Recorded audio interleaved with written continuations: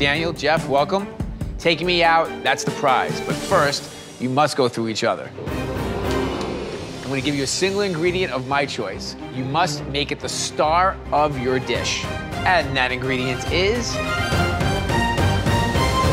fiddlehead ferns. I'm not a big fan of fiddlehead ferns. It's a fern that has a fiddle on it. Fiddlehead fern taco.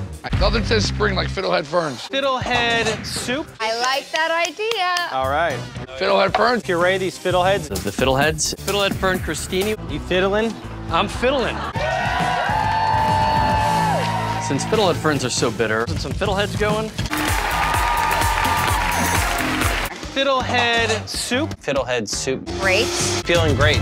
Fiddlehead Greek yogurt and my fiddleheads. Blanched fiddlehead ferns. I can feel my heart racing. Zero regrets. Fiddlehead ferns, Fiddlehead fern soup. Fiddlehead ferns just dumped right on the top. one fiddlehead fern. Fiddlehead crostini with a fiddlehead. A ton more fiddlehead ferns. A lot more fiddlehead ferns. Fiddlehead ferns. The chef that we are counting on to beat Bobby Flay is Chef Fiddlehead. Job. Now it's time for me to get a drink.